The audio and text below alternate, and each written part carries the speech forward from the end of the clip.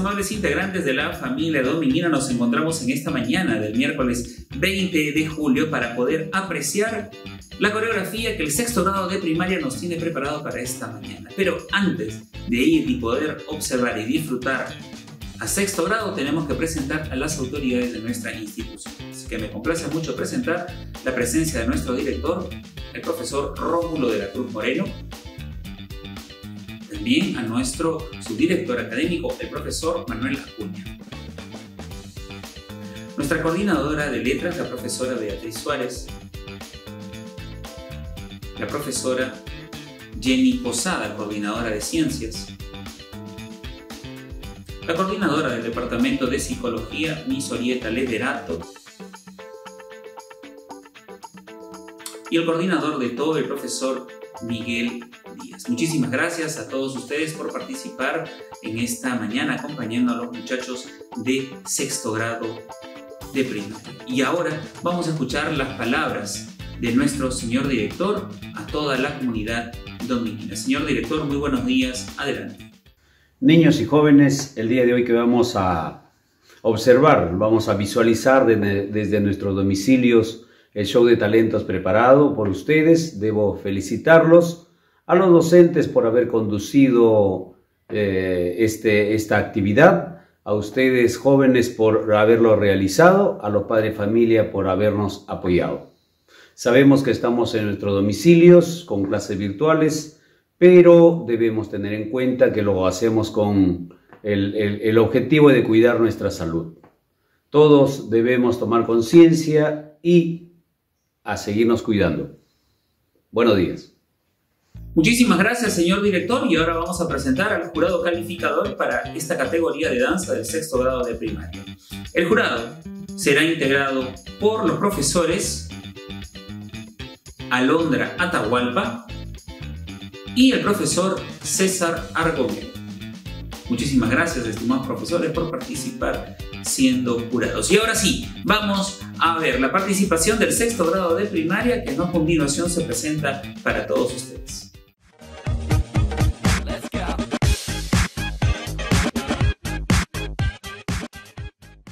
Muy buenos días, mi nombre es Ariana Saucedo, soy del sexto A y hoy, les hablaré sobre la historia de Junín. El departamento de Junín, escenario de los Andes peruanos, tiene una tradición que data sobre, sobre los pre-incas. En el Valle de Montaro, especialmente en Juanja, existió otra tribu famosa, la tribu de los Huancas. Hoy les hablaré sobre los platos y bebidas típicas y fiestas tradicionales de Huancayo. Los platos de Huancayo son la pachamanca y cuy colorado, el caldo de cabeza, el patachi y el sangu. Las bebidas típicas de Huancayo son la chicha de jora, la chicha de molle, el licor de guindas, el licor de maca y, el refresco de tumbo. Las fiestas tradicionales de Huancayo son el Santiago, el Guaylach, la Chonguinada, la Tunantada y las Tinjas. La danza Santiago de Huapaquillo se origina en la costumbre de selección y señalamiento del ganado.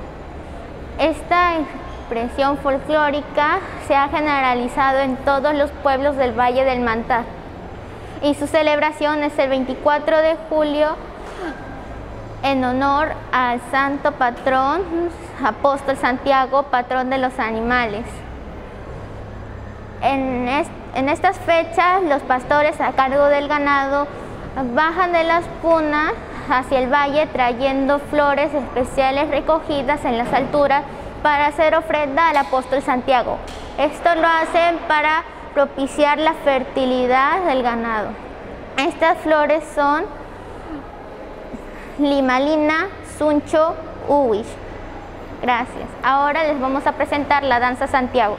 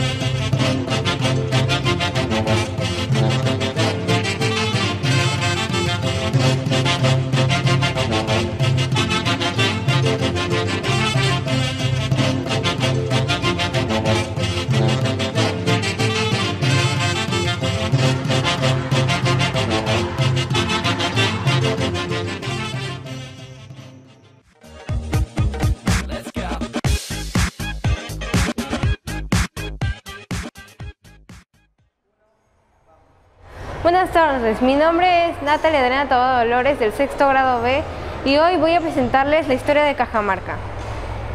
Cajamarca es un sitio turístico gracias a su arquitectura, pre-inca, inca y virreinal. En el año 1450 en el año 1450 formó parte del Imperio Inca, siendo sede administrativa y de descanso para la realeza. En el año 1532 en la plaza de Cajamarca se apresó al Inca Atahualpa. En la época de la colonia española los franciscanos se asentaron y lo bautizaron como San Antonio de Cajamarca. Ahora le daré el pase a mi compañero Sebastián. Sus principales platos típicos podrían ser el caldo verde, el cuy frito con papas, el caldo de cabeza de cordero. Sus principales lugares turísticos son Santa Polonia, la Plaza de Armas, los baños del Inca y las ventanas de Otutso. Chauchas de cuatro. Esta danza se bailaba en el mes de mayo, festejando las fiestas de las cruces, en la comunidad Corralorco, Bambamarca. Este baile tiene por sus orígenes a los antiguos palioneros, quienes ejecutaban su danza bailando con barras de quinal, con los cuales realizaban diferentes movimientos rítmicos, combinados con retos físicos. A esta danza se le denomina chauchas de cuatro, ya que los danzantes formaban cuadrillas de A4 y es el chauchera, personaje que representa el puco puco realizando gestos y ademanes de burla hacia los chaucheras. A través de esta danza se quiere representar la desaparición del puco puco, ave que antes de la llegada de los colonos era quien anunciaba el amanecer y el anochecer de cada día.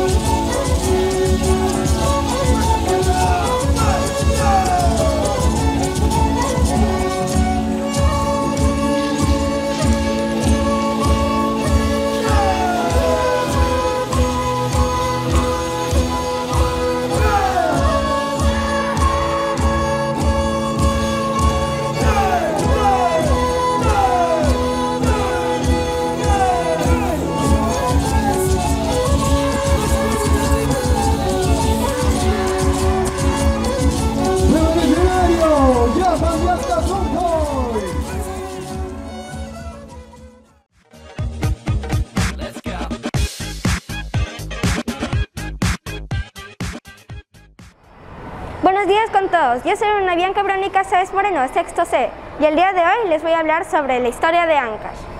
Ancash fue creado por Felipe Santiago Salaverry. Se fundó el 12 de junio de 1835.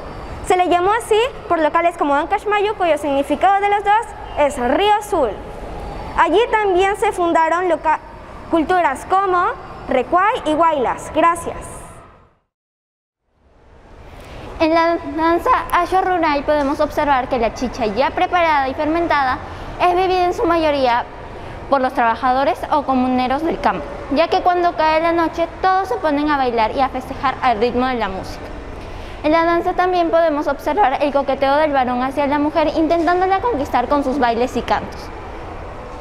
Se realiza en épocas de siembra, aporques, tirapos y cosechas, o en cualquier actividad que el pueblo desee realizar.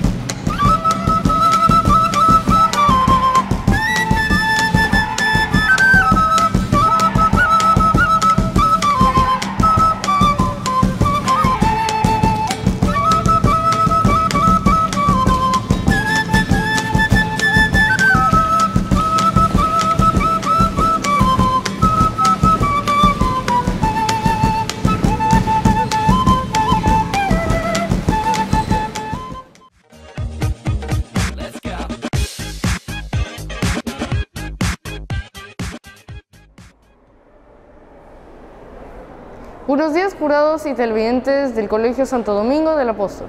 Aquí les habla el alumno Braulio Alejandro Martel Panduro, aquí representando al sexto grado D. Hoy día les hablaré de Cusco. ¿Cuándo no Cusco? Cusco es una ciudad, o bueno, mejor dicho, es un departamento que nos representa mucho, debido a que este es capital del Imperio Inca. El Imperio Inca ha sido el imperio más grande de América Latina y este sido el imperio más grande que ha tenido el Perú. En Cusco se hablan más de 8 idiomas y alberga a más de 458.278 personas. Y en Cusco se realizan varias danzas y actividades que nos representan mucho, como el Carnaval de Humapata, que ha sido una danza, o bueno, va a ser una danza que nos va a representar mucho el día de hoy. Hoy les voy a hablar sobre la danza de Humapatas. Esta danza pertenece al género Akju. Esto se realiza en en, los carnavales y en los meses de febrero y marzo. Esta danza se realiza con el fin de que los hombres jóvenes vayan para jugar, danzar y enamorarse. Así poder formar nuevas familias y actos. Esta danza proviene del Tiahuanaki, este, o aceptación de los jóvenes y mujeres. En esta danza, cuando termina el carnaval, ellos vuelven a sus comunidades para así poder formar nuevas familias. Gracias.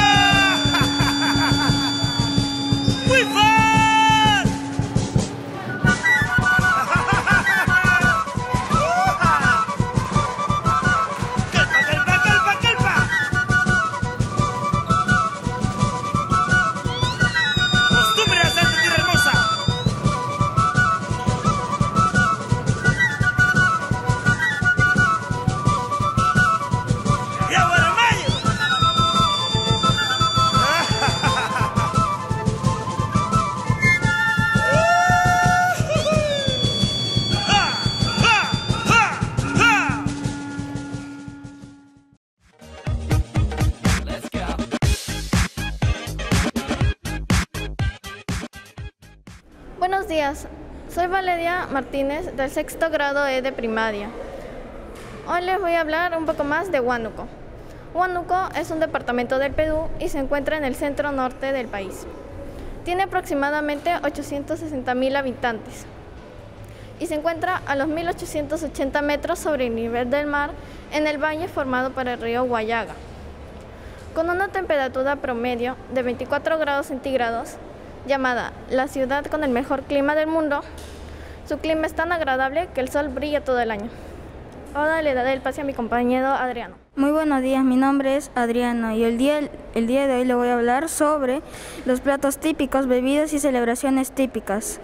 Sus platos típicos son el juan, el tacacho con cecina, el inchicapri de gallina, la cazuela de pescado y el arroz chaufa de charapa.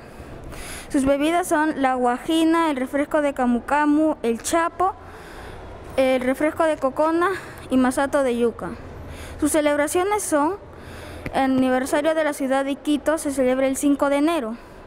Segundo carnaval indígena 2 se celebra el 8 de febrero hasta el 10 de febrero. Ahora sí le doy el pase a mi compañero Ximena. Buenos días, mi nombre es Lía Ximena Cancino Laye, soy del sexto grado E. Hoy voy a hablar sobre los carapachos. La danza de los carapachos representa las costumbres que tenían las tribus de los carapachos antes y después de la cacería. El jefe de las tribus mandaba y llamaba a jóvenes y adultos para ser sometidos en diversas pruebas de fuerza, para saber quiénes tenían que cazar para sus alimentos, en donde era un privilegio ser nombrado cazador para ser bien recibido. Los cazadores atrapaban a sus presas mediante emboscadas y sus instrumentos de guerra eran las lanzas y las flechas. Las mujeres aguaman a las presas en fogatas cubierto de hojas silvestres y luego terminada la tarea se reunían para celebrar la cacería.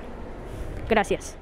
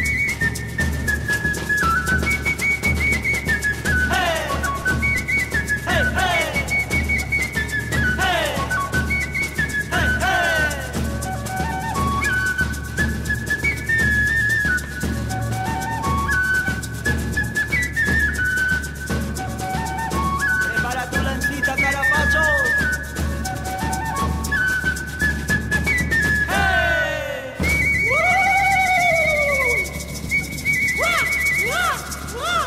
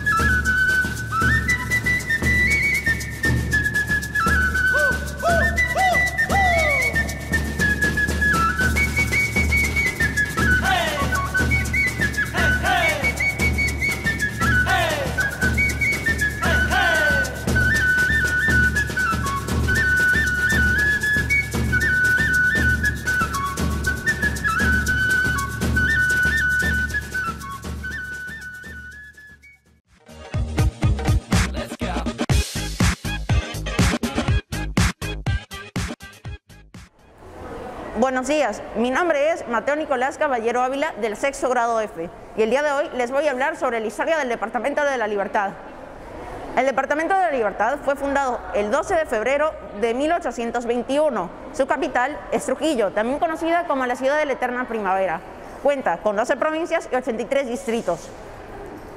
En el Departamento de la Libertad se presume que sus primeros pobladores fueron ubicados entre los valles de Chicama y Yaquetepeque. Aproximadamente 100 años antes de Cristo se establece la cultura mochica cuyo centro principal fue el Valle de Moche y su influencia se extendió desde Lambayeque hasta Ancash. Posteriormente aparece la cultura chimú, la cual fue sometida por los incas. Ahora le doy el pase de la palabra a mi compañera Paula. Ah, les presentaré algunas tradiciones y platos típicos de Guamachuco. Algunos platos típicos son el escabeche de pollo, el chambar, el cabrito, el chicharrón y la chicha de jora. Algunas tradiciones son, la fiesta patronal se da en honor a la Virgen, inicia el 29 de julio y, termina el 31 de agosto. El carnaval se celebra en la última semana de febrero o la primera semana de marzo. El Día de los Difuntos se celebra el 1 de noviembre. La gente se reúne con ramos de flores para ir a dejar ofrendas. Florecer del 1 de noviembre. Consiste en preparar un cuy frito y a la noche del día siguiente se realiza un paseo por los cerros cercanos. Muchas gracias. Ahora le doy el pase a mi compañera Renata. Buenos días, hoy les voy a hablar sobre la contradanza. La contradanza es una manifestación muy antigua en la localidad de Huamachuco, en el departamento de La Libertad. Esta procede del distrito de San Abraham, en la parcialidad de Ananjaya. Es una danza masculina que se baila incansablemente durante todos los días y noches de la fiesta de la Virgen de la Alta Gracia. Son los primeros en llegar y los últimos en retirarse. Esta es ejecutada por hombres del campo, que a inicios de la creación se burlaban de los bailes cortesanos de los españoles conquistadores. Esta forma de ridiculizarlos trajo como consecuencia la contradanza. Gracias. Y ahora vamos a ver la contradanza.